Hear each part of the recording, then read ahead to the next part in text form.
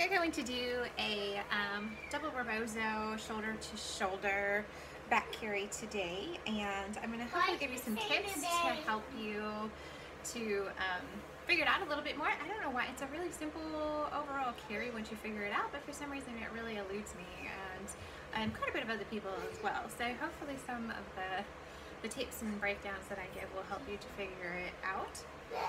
So the first time that I'm going to do it, I'm actually going to do the carry without a baby in the wrap and then I'm going to grab one of mine and um, do it with the child actually in the wrap. But hopefully going through it the first time without can help you to visualize and get the steps down a little bit better. So it's going to start a lot like a double hammock where you're going to find the middle marker and I like to just put the middle marker up on my chest and go out um, almost an arm's length, not quite a full arm's length out, which is going to be your new middle marker. And the only difference is with a double hammock, the long tail will pass across your chest and go around, and the short tail is one over your shoulder. So with a double rebozo shoulder to shoulder, you're actually going to do the opposite of that, where the long tail is going to make the rebozo pass and come across your shoulder and across your body.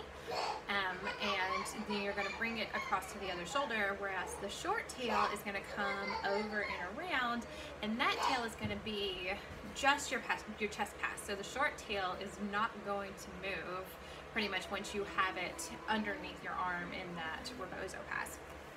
So as I said, I've gone a little bit of about a half, um, about an arm's length almost out, and I'm going to use that as my new middle marker. And I'm just going to pretend that a baby is in this at this point, and I'm going to put that piece on my back where my baby would be. And this is going to be my short tail. So my short tail, as I said, is going to go underneath my arm. I'm just going to tuck it under my leg for a minute to keep it in place. And then my long tail, I'm going to bring and gather up across my shoulder. So the short tail here, I'm to do some strand by strand tightening, is only going to act as your chest belt. So pretty much from here, this piece is never going it's not going to move until the very last pass at the end. So short tail after your rebozo pass is going to just stay put underneath your arm to make that chest pass. Your long tail is the one that's going to do most of the moving around. So take your long tail and you're going to cross it under, sorry, I almost had it wrong for a second. So you're gonna take your long tail and you're going to cross it under your chest pass. So to help you sort of visualize, first I'm gonna gather my rails up so you can see the coloring. So short tail is only gonna be act as my chest pass. So I'm gonna go ahead and pass it across my chest just to make it a little bit easier to visualize. And you can reach around behind and tuck it behind your legs that way so that way it keeps that chest pass in place the entire time or you can just kind of pin it down with your arm. And then we're just going to work on this piece the long piece. So the long piece is going to cross and make pretty much like a loop across your body. So it's already gone across one shoulder through that rebozo pass. And from here we're going to push it sort of over to the other shoulder and after we did some strand by strand tightening, which obviously I would need to do because I have slack even without a baby here, you are then going to take that rail and flip it up over your shoulder and try to keep that anchor point, if you can, a little bit farther over to that other opposite side. So once you have that done, this long tail is going to make your second rebozo pass. So it's going to then go across the baby's back and you're going to drop it underneath your arm. So you can see if there was a baby there, we would have those two rebozo passes holding baby in. And from there you would just sort of tighten out, follow your slack strand by strand, sort of work it all out, which I'm not going to take all the time to do at this particular moment. And from here, you're going to go, I'm going to move my chest piece to here just to make it easier. So take your short tail and you can move it to the front underneath your legs just to make it a little easier to work with now. And I'm going to take my pass going across my chest. and see where that short tail is making And I'm going to take my long tail and tuck it in and through. So long tail in and through. So once I tighten this out, I have that chest belt and two of my rails, which are now going to be right about the same length. And if you have a short wrap, you can just tie underneath the baby's bottom. If you have a longer wrap, you're going to crisscross over under baby's legs, and then you can just tie off in the front. So once you're done with that, you can strand by strand sort of work out any of your slack. You can spread some of these rails out a little bit more and just make it a little bit more comfortable. But that would be the basics of how the passes go. So I'm gonna do it with an actual for real kid and um, see if that helps you. Get it off first.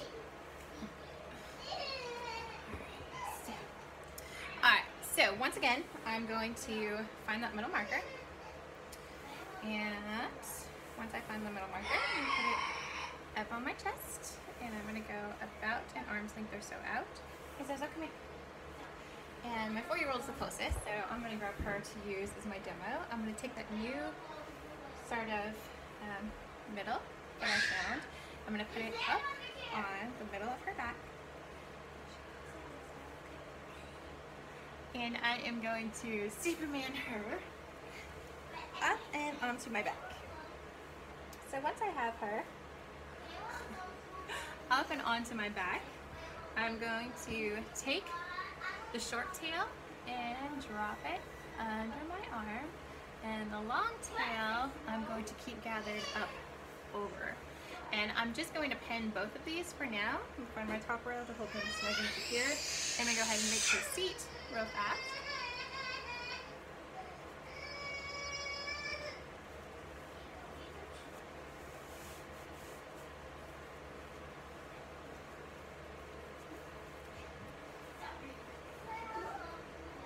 Alright, so remember, as we said, once I have the pass, I've got the long tail going over my shoulder.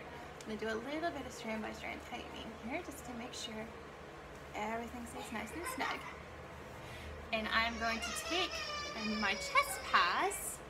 So my short tail, I'm gonna bring it across my chest, make sort of an anchor point low, almost close to my armpit on the opposite side, and take that chest pass and I'm just gonna tuck it from behind, just sort of hold it in place for now, just to kind of keep it out of the way.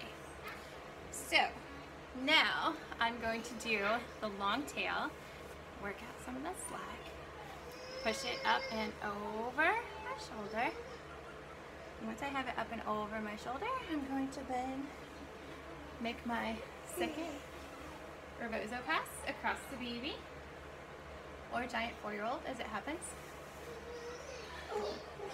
So I'm going to then drop it under my shoulder and you can see how her second Rebozo didn't go completely under her seat so I'm going to work on that real quick and just reach around and do a little bit of a tuck under.